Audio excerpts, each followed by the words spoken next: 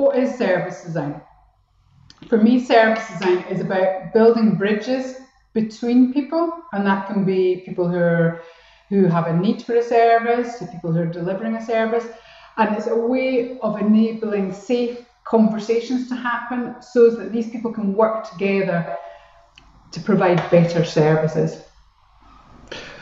A few months ago, I realised what service design was, I suppose, for the first time. We, we were facilitating an event for uh, leadership fellows in our National Health Service.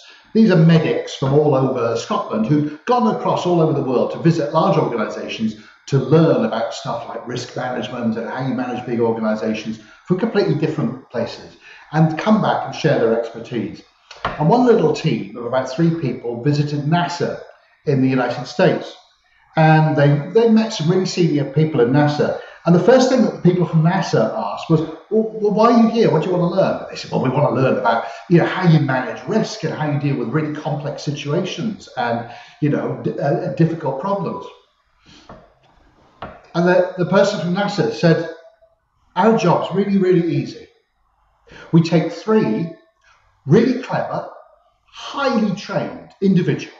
We put them in a spaceship on top of a rocket. That technology has been proven since the 1960s. We send them into space.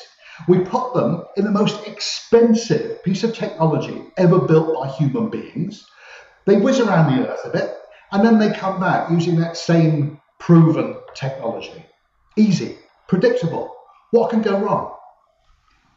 What you do is really difficult. What you do is you deal with a patient who comes in, who's worried, who's petrified, who's frightened, who might not speak your language.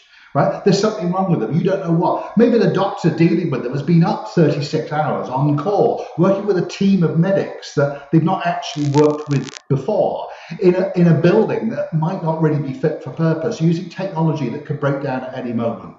That's complex. That's difficult. That's challenging. We merely put people in space and bring them back again.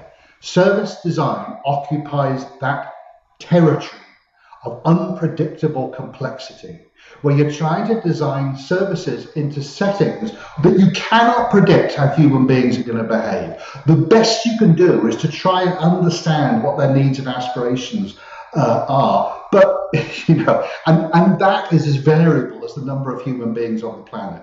So, service design occupies this incredibly messy, difficult territory, and that's what makes it really, really fascinating. This video is just one piece of the service design puzzle.